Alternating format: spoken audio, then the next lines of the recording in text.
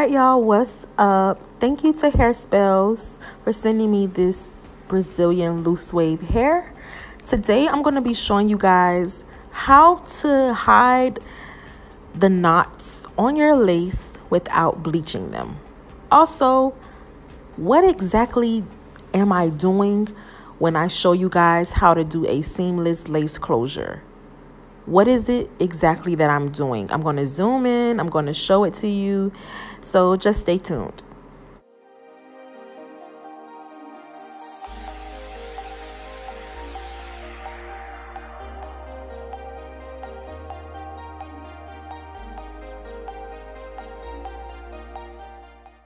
Of course, you're going to still pluck. We're going to skip the whole bleaching the knot stage, but we're still going to pluck the lace.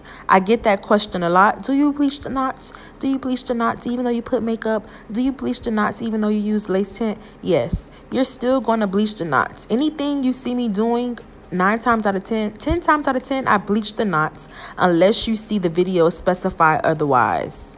If I do not specify that I did not bleach the knots, then I bleach the knots. That's like an automatic thing for me to do. However, we're just going to skip that step because I know a lot of you don't know how to bleach knots. And it's just quicker to not bleach the knot sometimes. But you're going to use a liquid foundation first. I showed you the number and the color that I'm using in this exact clip. After you use the liquid you're going to proceed with using a powder. I made this wig with the hot glue gun method if you haven't seen my video on that, feel free to check it out. It's so easy that my husband can do it literally. I hope you guys enjoy the video and feel free to try this technique at home.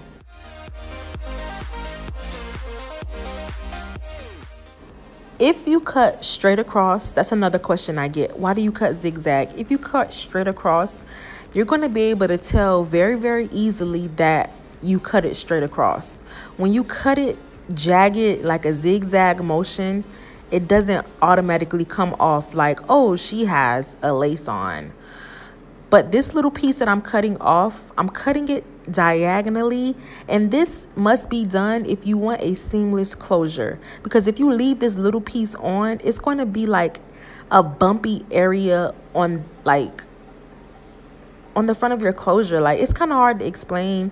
I don't know why I do this. I just I just did it one day and I haven't stopped doing it. This is just something that I do that makes the closure looks more natural. This is what I'm cutting off for you guys that are always asking me what exactly am I cutting off. So that's the little piece that I'm cutting off. It's like a part of the closure, but I really don't like to leave it there because it makes it look humpy in this area when you do your baby hairs. Then you're going to go ahead and just use your mousse comb the hair as you usually would, you know, comb it in, mold it down. Then you're going to cut your baby hair and mold them.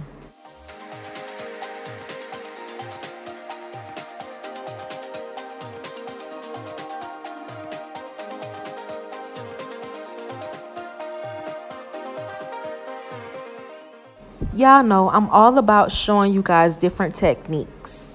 I never really do this on my channel with using the brush, the little toothbrush, whatever it is that they that I got, you know, at the hair store. And some hair, hair companies send it to me, but I just never use it. But this is um, honestly easy to use if you're a beginner.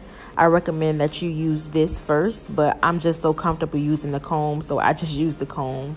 But that comes with practice. I always tell you guys, do what works best for you. After you've created your baby hair, you're going to go ahead and get your head wrap and mold the baby hair down. Blow dry, blow dry, blow dry until it's dry.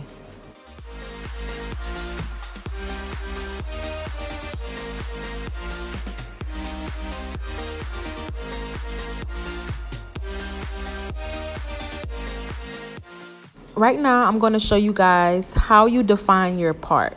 Make sure you get an angled brush and make sure you pinch it very, very skinny so it would be, you know, like a, a skinny line. You don't want it to be wide open. and it leaves you with a like a wide part with makeup all over your hair. You want it to be skinny, skinny, skinny. Once you put the makeup on the part, you're going to go ahead and get a comb and just rub it in. I love big wild hair. I've never had loose wave before and this is really really cute. I've had this edge control for a few months now and it works really really good. I'm just going to get that same brush, stick it inside of the edge control and just form my baby hair completely. You can do you can use them with the mousse, but with this look, I just decided to use the edge control to give it like a completely formed look.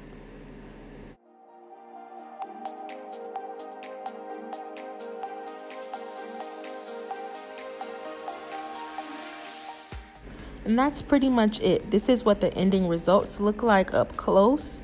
Once again, I hope you guys enjoyed this video. Thank you, and I hope you use these techniques. Follow my steps, and it'll be, be very, very easy for you. See you next time. Bye.